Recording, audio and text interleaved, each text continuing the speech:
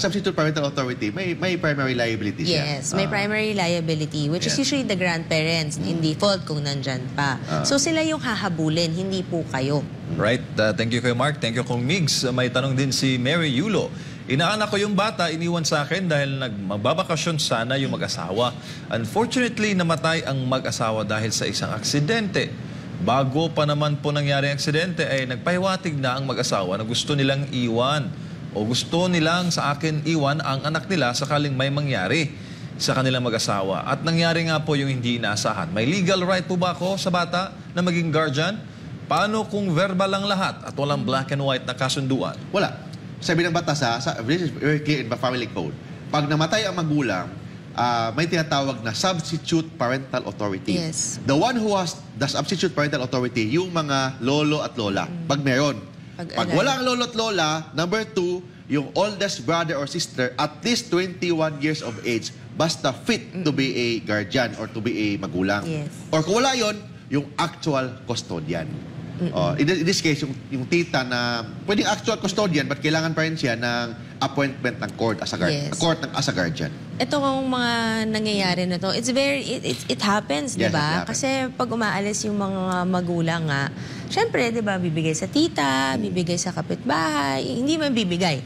Pero, Oo. ah, Mrs. Win, ikaw muna Ang kasi tawag doon, wala. temporary custody. But in that Yes. case, kailangan, for example, nawala na yung tatay at nanay, mas maganda na kumuha sila ng court appointment as a guardian.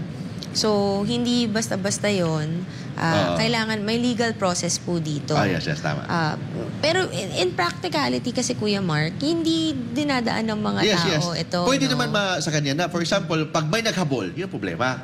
O, magagulo. Mas maganda, para wala ng gulo, i-fix mo yung right mo sa over the child. Bakit nagkakagulo? Ah, dahil kasi may kunyari may sala ang bata, may ginawa yung bata. Mm.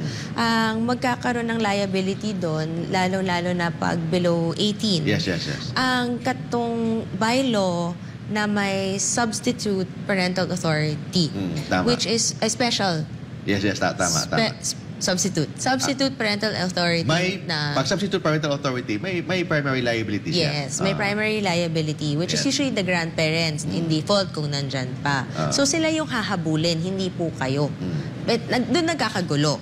No, Ah, by by by virtue of law lang ganon. But it happens at kung wala naman pong gulo, syempre kayo Ah, tama. yung kayo So- mag-aalaga, kayo yung ah, under the care, kayo yung under the care and custody po. So yung issue kasi ng substitute parental authority, pag, pag may problema ang tatay at lola, Oo. sino ang may authority over the child? Si lola ba? Or ang tatay? Sabi ng batas, ang substitute parental authority, it refers only sa mga lola. Ang may primary parental authority, ang tatay at nanay talaga. Kung for example, magkahiwalay si tatay at nanay, si, ta, si nanay nawala na. So, ang bata, pa- mapunta talaga sa tatay, hindi mapunta sa lola. Alright, thank you po.